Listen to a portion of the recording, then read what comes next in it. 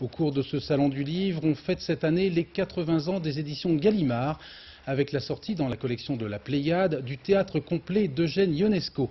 C'est la première fois qu'il a accepté de recevoir une équipe de télévision depuis la sortie de ce volume qui est un événement non seulement à Paris mais dans le monde entier.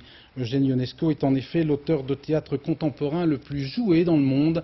Un entretien de Sylvie Marion sur des images de Bernard Ronflet. À 81 ans, auteur dramatique vivant le plus joué dans le monde, Eugène Ionesco entre dans la Pléiade. Cette formidable édition de son théâtre complet nous dévoile son secret. Plutôt que d'en pleurer, il faut rire des malheurs du monde. J'aime beaucoup la première pièce qui était La cantatrice sauve, Le monde en déroute, le langage disloqué, mais dans la jeunesse et dans la joie. Ce livre m'a fait plus de plaisir que lorsque j'ai été élu à l'Académie. On a des vanités. Comment trouvez-vous le monde en ce moment? Il me fait horreur.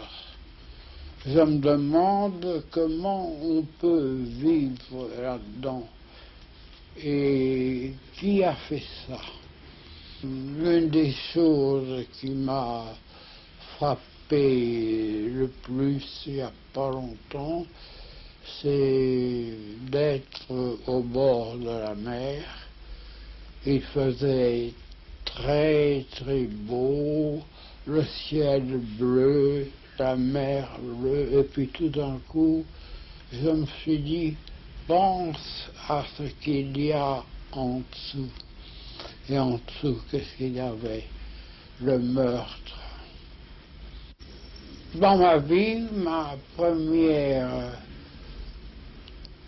préoccupation a été le monde. Pourquoi le monde? Une fois accepté le monde dans sa beauté, je me suis demandé pourquoi le mal. Et ça a été la deuxième question importante, le problème principal de ma vie.